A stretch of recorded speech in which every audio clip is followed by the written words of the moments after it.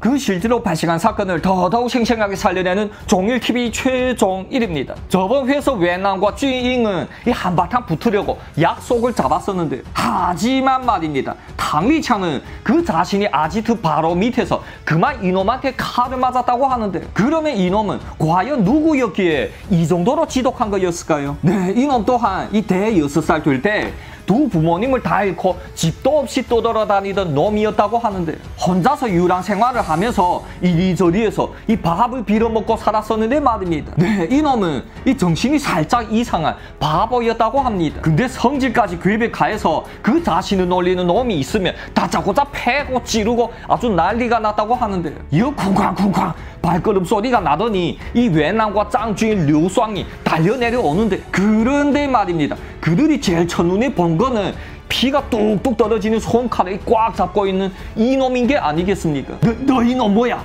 누가 보내서 왔어? 웬남과 짱쥐는 이 기겁을 하면서 다짜고짜 권총을 빼드는데 예? 혹시 저 저 웬남 형님이 되십니까? 네, 내는 이 형님을 따라서 건달이 되고 싶습니다. 받아주십시오, 형님의. 에? 이 형님이 시킨 거는 뭐든지 다 하겠습니다. 뭐?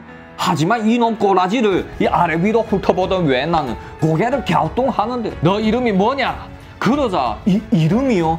이름은 잘 모르겠는데 이 다들 저를 싸화라고 부르더라고요. 여기서 중국어 싸라는 뜻은 바보라는 뜻인데 뭔 이름에 바보가 들어가냐? 어? 에이, 건달 생활을 하고 싶다고?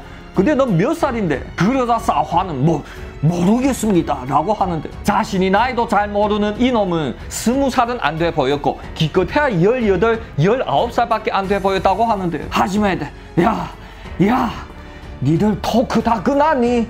끝났으면 이 빨리 내를 병원으로 옮겨달라 이 놈들아. 내 아파서 거의 죽는다 이것들아. 곁에서 당리창이 이 살겠다고 왕왕거리는 거였었는데. 아 참 그렇지. 야 빨리 옮겨줘라 에? 류수안과 짱쥔이 이 달려가서 당리창을 옮기고 왜 나는 이 싸화를 다시 보는데 에, 당리창이 누굽니까? 그 난다 긴다 하는 놈을 다짜고짜 다섯 방이나 찔러서 눕히다니. 왜 나는 이 싸화라는 놈이 웬만한 놈은 아니라는 걸 느끼는데 이 담략과 깡으로 치면 당리창, 야바 등 이놈들과 비교해도 충분하겠죠. 야바나 싸화처럼 이 가족도 없고 아쉬울 게 없는 놈들이 진짜로 무서운 놈들이라고 합니다. 싸화야, 이 건달은 뭐 아무나 되는 게 아니다. 너 싸움은 좀 하냐? 에? 이 사람을 찌를 수 있겠니? 아 맞다 맞다.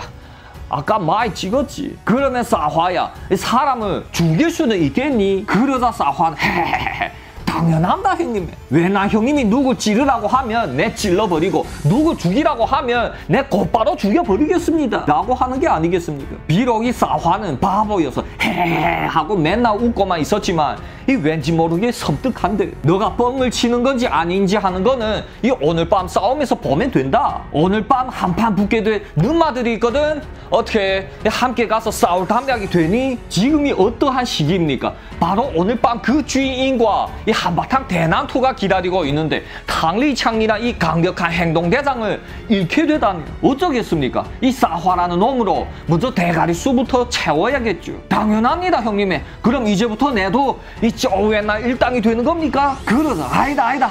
왜 나는 이 머리를 절레절레 졌는데 너 오늘 밤 전투에서 하는 표현을 보고 내 받아줄지 말지를 결정하겠다 알았나? 그렇게 이 불쌍한 당리창은 병원에 입원해서 한 달 정도를 푹 썩어야 했다고 합니다. 다행히도 사화의 칼이 아주 자그마한 손칼이었었으니 이만하고 끝난 거지 아니면 큰일 날 뻔했다는데 이 러방즈는 당리창을 간병해 주느라고 이 병원에 가고 없었고 이렇게 단번에 대가리 수가 두 명이나 빠졌다고 합니다. 이 저녁 술상을 차려놓고 이 먹고 마셔대기 시작하는데 밤 9시에 만나서 이 한바탕 붓기로 약속했었으니 그전에는 항상 이렇게 배 터지게 먹고 이 술을 왕창 마셔야 되는 게 국룰이 아니겠습니까? 이러한 놈들이 싸움은 이제 주먹 싸움도 아니고 이 총으로 당당당당 하는 건데 이 매번마다 어떻게 될지 어떻게 알겠습니까? 항상 이게 마지막 기회가 될 수 있는 거라고 생각하고는 이 먹고 마셔야 되는데 하지만 싸화 이놈은 아닌데 이놈은 처음으로 이 돼지 족발이며 소고기며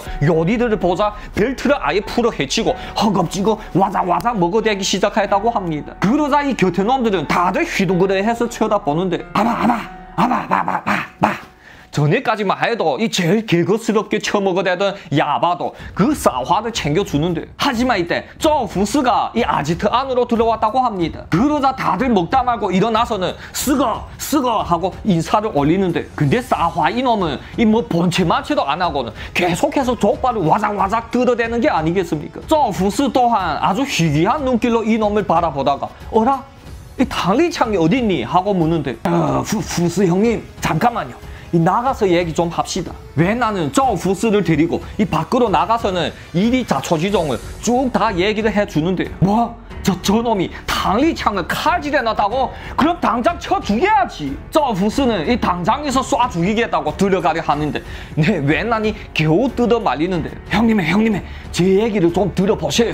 저놈은 이 정신이 좀 살짝 이상한 바보입니다. 뭔가 오해가 있어서 그렇게 된 것 같은데 일편단심 우리 조직에 들어오고 싶어 하는 놈이죠. 자, 이러면 어떻겠습니까? 오늘 밤 주인 쪽에 애들이랑 이 한판 붙게 생겼잖아. 우리 저놈이 활약을 한 보고서 뭐 어떻게 처리할지 결정하죠. 만약 놈이 겁쟁이고 이 안 되면 그때 가서 다시 처단해 버려도 늦지는 않을 듯 싶은데요.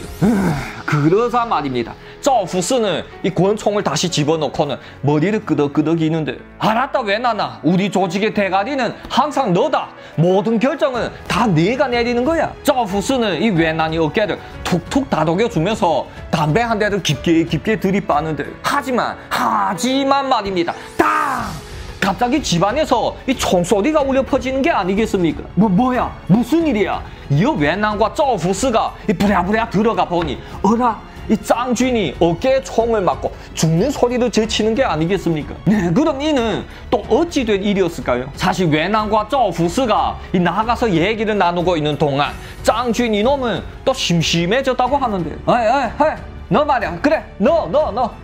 그만 처먹고 일로 와 봐라 짱쥔이 사화를 불러서는 얘기를 나누는데 에이 사화라고 부른다고?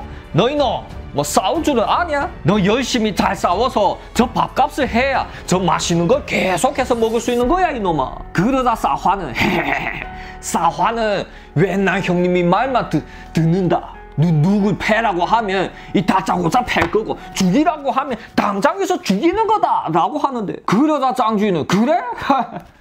이놈이 정신머리 상태는 아주 멀쩡한데? 그래 그래 근데 너 이런 거는 다룰 줄 아냐? 짱쥐는 이 서랍을 막 뒤져서 동풍 30 권총 한 자루를 찾아 꺼내는데 짱쥐인 이놈은 이미 새로운 540 권총을 쓰고 있었고 전에 쓰던 동풍 30 권총이 한 자루가 남았잖아요. 오늘 보나마나 한바탕 대난투가 벌어질 것 같은데 이 사화한테도 무기 하나쯤은 챙겨줘야겠죠. 어이 어이 너 이게 이게 뭔지 아니? 짱주인이 사화한테 권총을 보여주자 이놈은 두 눈이 뜨였다고 합니다. 또 권총이야. 와, 사, 사화는 이거 안다. 이 비디오방에서 나오는 영화에서 이 사화는 이런 거 많이 봤었다. 이 당당당 하고 쏘게 되면 사람이 죽는 거 맞지? 그러자 짱주인은 피시 웃었다고 합니다. 뭐야?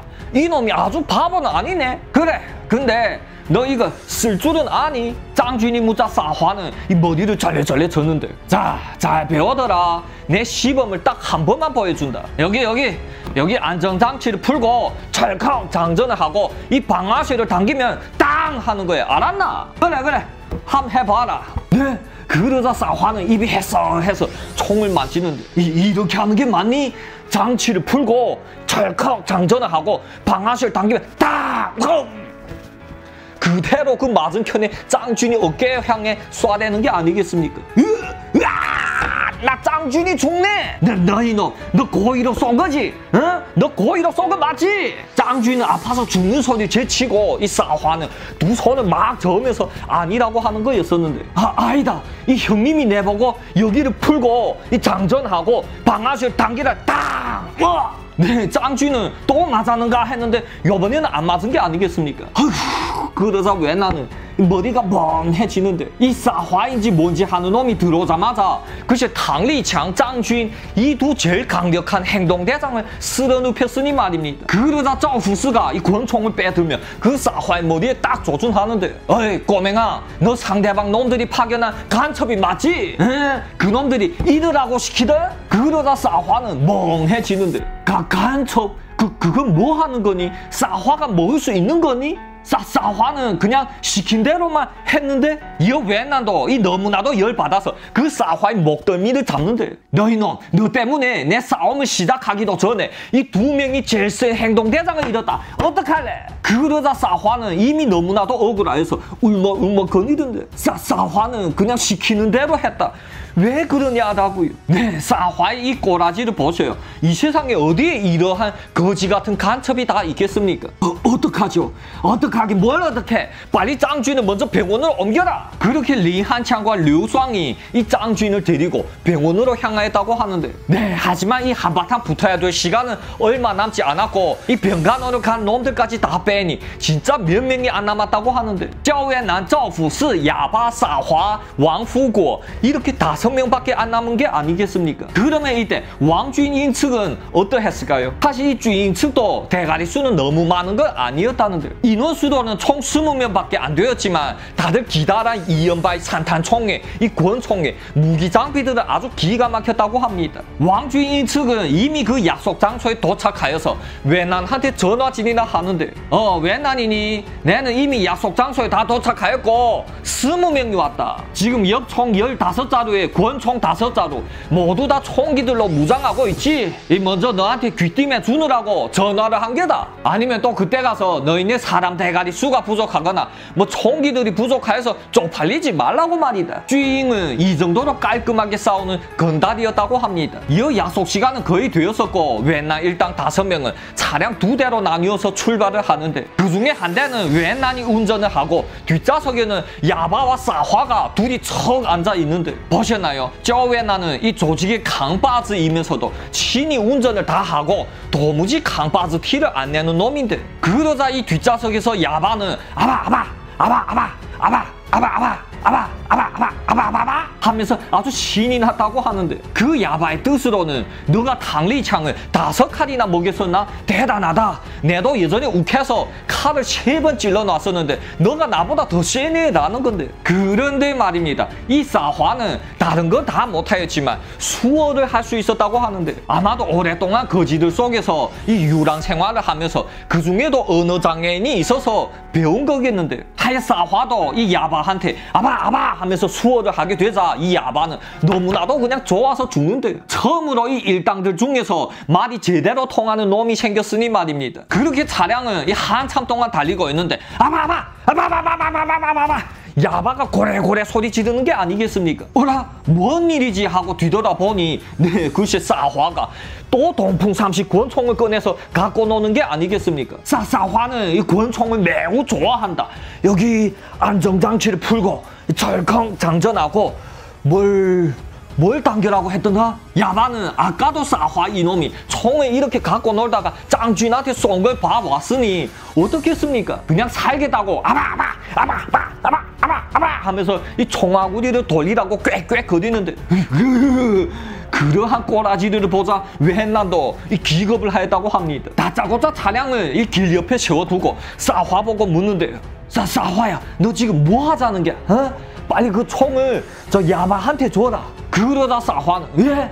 에이, 이 싸화는 아까 권총을 쏘는 방법을 까먹었다. 하여 지금 이 복습을 하고 있는 중이다 라고 하는 게 아니겠습니까? 복, 복습인 개똥이 복습이야. 싸싸화야 그 권총을 야, 야바한테 줘라 넌 내 말을 잘 듣는다 했지 지금 야바한테 주고 어? 좀 이따 차에서 내리면 다시 너 줄게 야 우리 이제 놈들과 싸우기 전에 이제 좀 가만히 살자 알았니? 왜 나는 너무나도 놀라서 이 땀방울까지 떨어뜨렸다고 하는데 이는 그야말로 부파 선一样的 对手 주파 주一样的 队友가 아니겠습니까? 그 뜻인즉 신 같은 적수가 더 무서운 게 아니고 이 돼지처럼 아둔한 동료가 더 무섭다라는 건데 이 차량을 계속하여 이동하여서 싸우려는 약속 장소에까지 도착했다고 합니다. 그러면 말입니다. 한쪽은 하얼빈시 시장이 이 제일 아끼는 첩이 남동생 그리고 다른 한쪽은 지금 제일 날뛰고 토파오르고 있는 쩌웬난 그 둘이 전쟁은 과연 어떻게 진행될까요? 다음 회에 계속하겠습니다. 재밌게 시청하셨으면 구독과 좋아요 쾅쾅 박아주시고요. 다음 회에 또再见。